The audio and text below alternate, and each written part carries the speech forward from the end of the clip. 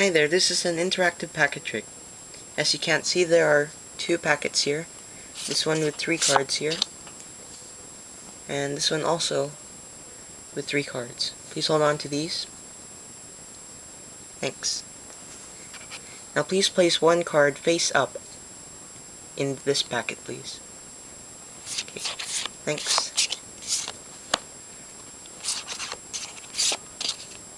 Three cards again. Please place one more card. Thank you. And three cards again. Please place another one. Okay, thanks. Now here I have three cards again. I only need two, so uh, here you go. You can hold on to this. Okay.